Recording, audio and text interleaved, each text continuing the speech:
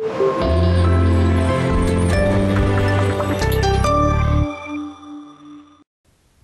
so schnell geht das. Wir sind wieder zurück mit dem Stadtmagazin am Montag. Herzlich willkommen nochmal, liebe Zuschauer. Wie schafft man es eigentlich, einen 42 Kilometer Marathon am Stück zurückzulegen? Der Unterschied liegt im Laufen und nicht im Rennen. Das jedenfalls sagte mir kürzlich ein Mann, der es wissen muss.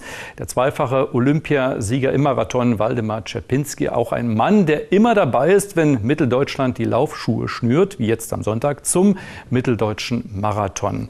Thorsten Grundmann hat sich mitten unter das lauffreudige Volk gemischt, fasst jetzt nochmal alle Ergebnisse in einer Sondersendung für Sie zusammen, sprach mit Siegern und Erschöpften und hat sich hoffentlich nicht erkältet.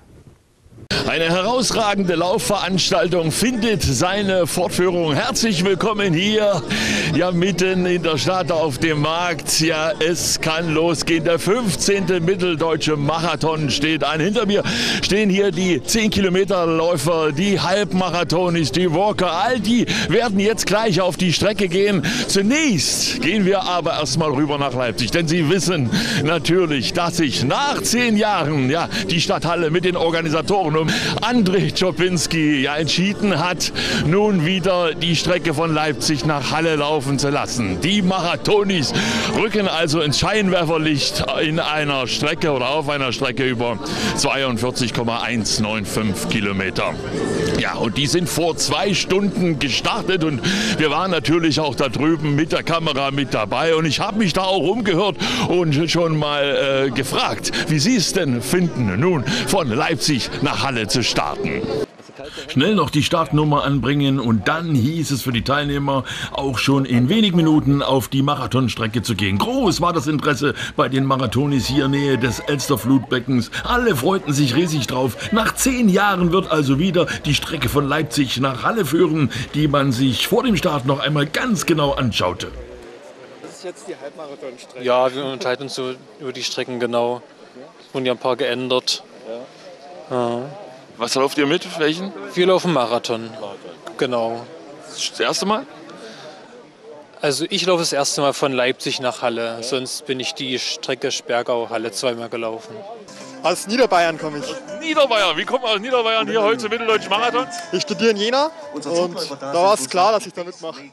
Ja, die Strecke habe ich mir jetzt sehr explizit angeschaut. Ich habe jetzt die Woche nochmal einen Halbmarathon gelaufen, volle Gas am Montag. Ja, und jetzt habe ich Ruhe gemacht und dann hoffe ich, dass das gut geht. Und äh, Ziel gesetzt zeitmäßig? Ja, drei Stunden möchte ich anpeilen. Ja. Von Leipzig nach Halle, wie findest du das? Das war der Grund, warum ich mich zum zweiten Mal in meinem Leben auf den Marathon äh, ge gewagt habe. Okay. Und das erste Mal wo gelaufen, den Marathon? 2012 in Berlin. Das war aber mir zu voll und deswegen freue ich mich jetzt einfach auf eine schöne Strecke, die einfach in der alten Heimat einfach schön. Ja. Einer freute sich auch ganz besonders, nämlich Olympiasieger Waldemar Czapinski, der vor 15 Jahren diesen mitteldeutschen Marathon ins Leben gerufen hatte. Unvergessen dazu ist auch sein Erfolg von nunmehr 40 Jahren gewann Waldi in Montreal seine erste olympische Goldmedaille. Und in diesem Sinne ging es nun für die Marathonis in die Spur. Fast verdreifacht hatte sich die Teilnehmerzahl gegenüber des Vorjahres. Etwa 450 Läufer meldeten sich für diese Königsdisziplin. Einen Favoriten konnten wir im Vorfeld nicht ausmachen und die Zeit der Kenianer ist ja lange vorbei. Schauen Sie sich diese große, gut gelaunte Läuferschar an. Pünktlich 9 Uhr machten sie sich also alle auf den Weg Richtung Halle. Lange Zeit geht es für sie nun auf dem Damm entlang, abseits der Straße. Ja, man konnte auch dabei die Natur begutachten. Eine Strecke, die man so vorher noch nie gelaufen war. Nun gilt es für die Marathonis, die Energievorräte und deren Verbrauch zu kontrollieren, um einen Marathon gut durchstehen zu können. Ein Albtraum für jeden ist der Mann mit dem Hammer, der meist ab Kilometer 30 bis 35 kommt. Viele Teilnehmer laufen hier nicht das erste Mal solch einen Marathon. Einige sind schon gern gesehene Stammgäste dieses mitteldeutschen Laufspektakels. Gleich melden wir uns hier wieder. Tja, da sind die Marathonis also auf der Strecke, das haben wir gesehen. Und nun sind wir hier unmittelbar vor dem Start. Also hier auf dem Markt gehen jetzt gleich die 10 Kilometer, die Walker und die Halbmarathonis auf die Strecke. Ja, der 15. Mitteldeutsche Marathon hat ein vielfältiges Programm und hier sind wir jetzt mit dabei. Und vor allem äh, die Halbmarathonis, die freuen sich jetzt durch die grüne Lunge ja, der Stadt, der Saale entlang zu laufen. Und ja, mal schauen, wer dann am Ende hier als Sieger durchs Ziel läuft. Also wir machen den Weg frei für die Jungs, die können es kaum erwarten und starten. Ja, die Teilnehmer scharten schon mit den Füßen. Top-Athleten wie zum Beispiel Falk und Jonathan Schapinski sind wieder mit dabei. Zwei Läufer, die sicherlich ordentlich Pace machen werden. Falk läuft den Halbmarathon, Jonathan den 10-Kilometer-Lauf, den er nun endlich auch mal gewinnen möchte. Halbmarathonis und 10-Kilometer-Läufer vereint auf dem Weg. Etwa 700 an der Zahl.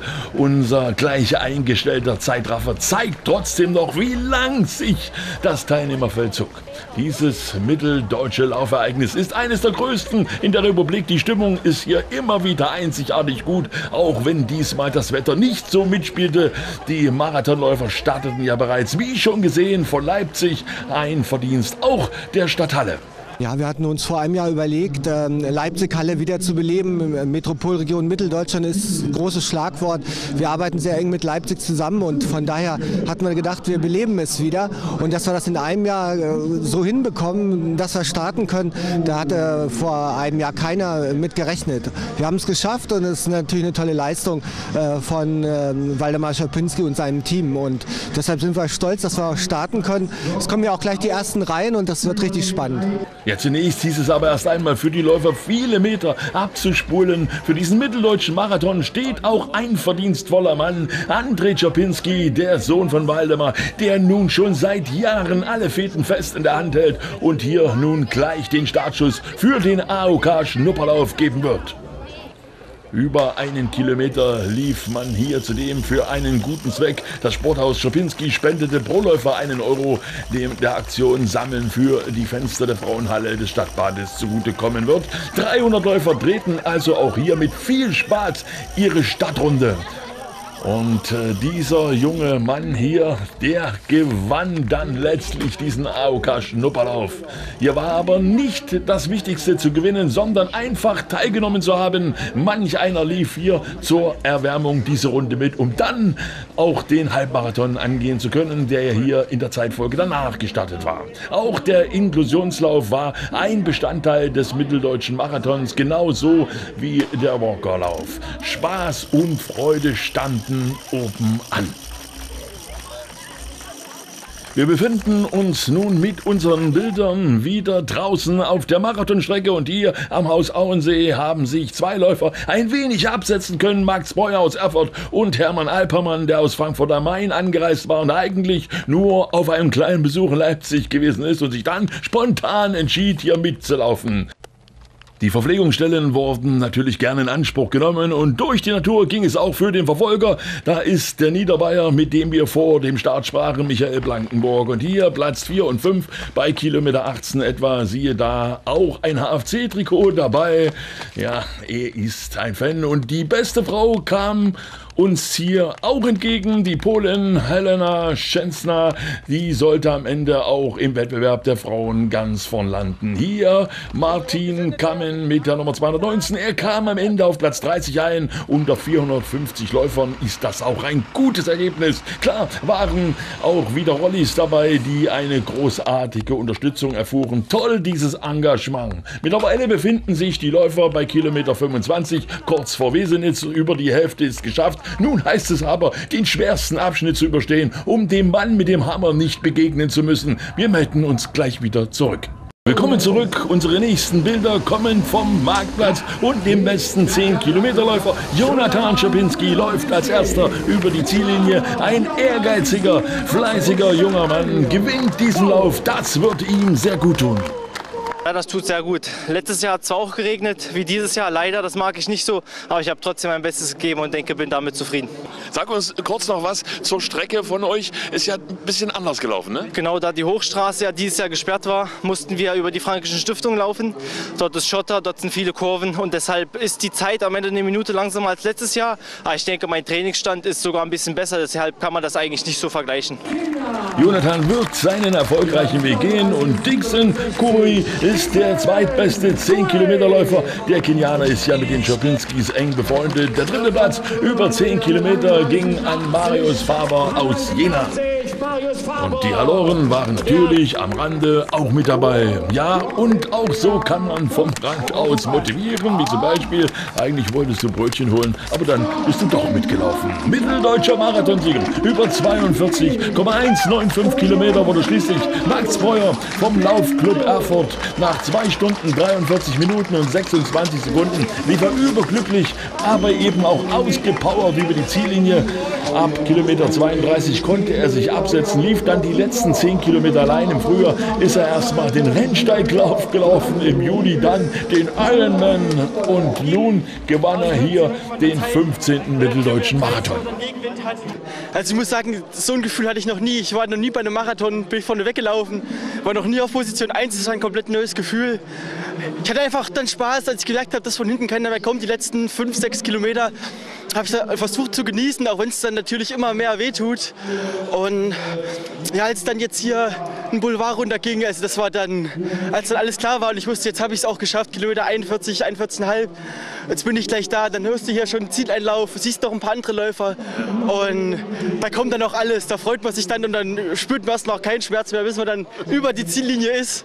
Und naja, jetzt tut's, jetzt tut's wieder weh. So manchem tat es hier richtig weh, aber der Weg ist das Ziel. Die Polen, wie schon erwähnt, gewannen im Frauenwettbewerb über diese Marathonstrecke. Glückwunsch auch an sie, die alles gegeben hatte. Ja, und dann kamen die Läufer aller Wettbewerbe weiter ins Ziel. Auch der 82-jährige Walter Mattes, eigentlich ein früherer Leichtathlet des USV Halle. Vor zwei Jahren ist er noch den mitteldeutschen Marathon gelaufen. Jetzt waren es aber immer noch bemerkenswerte 10 Kilometer. Und eben hatte auch der Zweitplatzierte über die Marathondistanz, Hermann Alpermann, die Ziellinie überquert. Ja, genau. Ich bin das Wochenende hier zu Besuch bei meiner Schwester in Leipzig und es hatte sich gerade gut angeboten, hier auch den Marathon mitzumachen, zumal es auch eine traditionelle Veranstaltung ist und auch hochgelobt wurde im Vorfeld.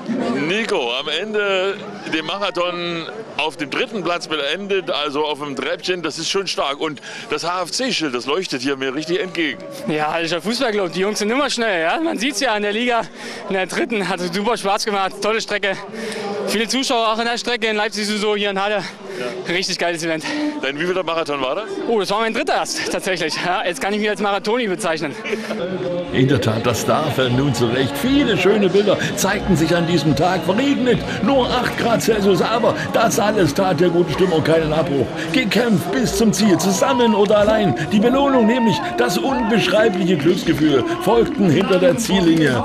Und dann war auch der Halbmarathonsieger Falk Czopinski im Ziel nach einer Stunde und zehn Minuten offensichtlich auch in Gedanken an seine Tochter.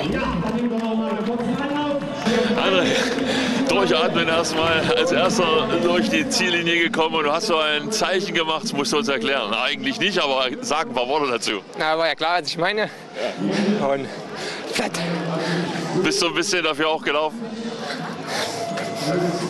Falk musste das Interview tränengerührt abbrechen. Er ist so stolz auf seine Tochter, die im Elisabeth-Krankenhaus geboren wurde und der kurz zuvor noch vorbeigelaufen ist. Da übermannten ihn nun all seine Gefühle. Bilder, die man eigentlich nicht mehr kommentieren muss. Immer wieder gingen die Läufer an ihre physischen Leistungsgrenzen. Auch der Niederweier kam schließlich als 30 bester Marathon ins Ziel. Fix und fertig. Da hatte er sich im Tempo fast etwas verzockt. Saugeil. Also das Rennen an sich war wirklich toll. Das Wetter hat dann ganz mitgespielt, aber das macht ja nichts. Ich bin froh, dass ich jetzt im Ziel bin. Du bist lange vorne mitgelaufen, aber du hast sogar Dritter eine ganze ja. Zeit lang. Ja, ich habe es ein bisschen zu stark eingeschätzt. Die ersten 10 Kilometer war ich viel zu schnell dran, aber das war das Lehrgeld, das man zahlen muss. Ich glaube, nächstes Jahr, wenn ich wieder mitmache, dann klappt das auch mit drei, drei Stunden, denke ich. Die großen Anstrengungen waren dann auch überall zu sehen. Teilgenommen und ins Ziel angekommen. Das war das, was zählte. Auch ein weiterer junger Mann mit Namen Julius Rüttinger. Hier im Bild kam völlig ausgepowert über die Ziellinie und zunächst kein Stück weiter. Er traute sich erstmalig an die Halbmarathonstrecke heran. Toll, wie der Junge gelaufen ist. Nur eine Stunde und 40 Minuten hat er für die 21 Kilometer gebraucht. Diesen Lauf wird Julius so schnell nicht vergessen. Als Ruderer in Halle Anstrengungen auch gewohnt ist. Aber hier ist ihm ein großer Erfolg über sich selbst gelungen. Hast jetzt alles gegeben, haben wir festgestellt. Ja, das kann sein. Halbmarathon? Ja. Das erste Mal gelaufen, so eine Strecke? Ja, das war das erste Mal. Warum hast du gesagt, das will ich mal machen?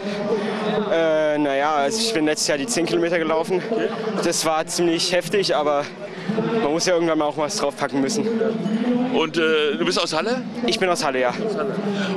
Trainierst du sonst irgendeine Sport? Ich bin äh, Ruderer in Halle. Und du sagst, das mache ich wieder trotz diesen Qualen? Ja, das mache ich auf jeden Fall. Über alle Altersgruppen hinweg liefen die Läufer ein, vom Kindesalter bis zum wohlverdienten Rentenalter. Woher kommen Sie? Aus Berlin. Aus Berlin? Ja. Erste Mal hier dabei? Nein, schon öfter. Und äh, das zweite Mal als Walker. Früher bin ich äh, Halbmarathon gelaufen. Und ich habe äh, neue Hüfte gekriegt und deshalb kann ich nur noch walken. Respekt. Darf man nach Ihrem Alter fragen? Äh, 76. Unfassbar, was man in solch einem Alter noch alles schaffen kann. Wir hören uns weiter um. Ah, sag uns erstmal deinen Namen. Maja. Maja, wie, wie, wie, wie, wie viel bist du gelaufen? 42 Kilometer. 42 Kilometer? Wie alt bist du? 23. Das ist aber stark. Danke. Schon öfters gelaufen? Es ist das zweite Mal jetzt. Hast gerade auf die Uhr geschaut, wie schnell warst du? Ähm, 3,25. Ist das okay? Ja. Ja, bin ich zufrieden. Wie war es da auf der langen Strecke? Es war schön, erstaunlich schön, ja. Dafür, dass es eigentlich so, so wenig los war, hat es echt Spaß gemacht, ja. Glücksgefühle zu erleben, nicht nur bei den Läufern. erste Mal. Das erste Mal. Jan? Oh, ich freue mich so für dich. Super, super. Mutterstolz. Da war die Mama einmal mehr stolz auf ihren Sohn. Zu Recht. Den Namen erstmal verraten. Jan Graviert. Wir haben gerade gehört, das erste Mal gelaufen, den Marathon. Jawohl, das war mein erster Lauf und äh, bin sehr zufrieden. Trotz des schlechten Wetters, super, super Strecke, super ausgeschildert, super Organisation, einwandfrei. Hat Spaß gemacht. Du siehst doch so frisch aus. Ja, äh, ich wollte den unbedingt schaffen und deswegen wollte ich nicht 100 Prozent geben. Okay. Ja, das, äh, mein Ziel war es zu schaffen, weil es eben der erste ist und äh, das war mir wichtig. Und auch dieser mit Verlaub ältere Herr ist ein außergewöhnlicher Läufer. 75 Kilometer legte er erst vor ein paar Wochen zurück. Wir wollten und mussten ihn einfach mal kurz hören. Ja. Vor vier Wochen habe ich einen 75 Kilometer gemacht. In Slowenien, in Celje. Im Europacup. Deutsche Ja, ist eigentlich der dritte Marathon. Und im April habe ich den 10. Weinmarathon der Deutschen Weinstraße gemacht in Bad Dürkheim. Und vier Wochen ist noch eine in Athen, Athen-Marathon, Auslandsmarathon. Was man eben alles mit Wille und Kraft schaffen kann, weiß auch der exzellente Fotograf aus Halle, Stefan Röhrig. Sonst oft mit dem Fotoapparat unterwegs und wunderschöne Bilder hast du schon gemacht. Aber heute hier dabei? Ja, muss einfach sein. Mal Kamera zur Seite packen und einfach mal selber was tun, nicht immer nur zugucken. Und es ist eine ordentliche Strecke gewesen, ne? Ja, sehr anspruchsvoll. Wetter war gut, obwohl es geregnet hat. Passt.